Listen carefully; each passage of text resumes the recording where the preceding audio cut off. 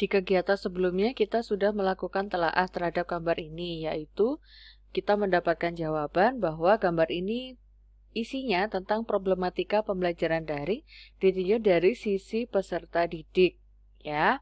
Kemudian kita juga sudah dianggap ya, anggap saja sudah melakukan telaah pustaka sehingga kita mendapatkan data tentang prinsip-prinsip pembelajaran daring yang efektif, jenis-jenis strategi dalam pembelajaran daring, fakta pembelajaran daring, praktik baik pembelajaran daring, tahapan guru dalam menyiapkan pembelajaran daring, dan nilai karakter dalam pembelajaran daring. Nah, sekarang mari kita kolaborasikan antara temuan kita berdasarkan kajian terhadap fenomena dengan temuan kita berdasarkan hasil kajian terhadap pustaka.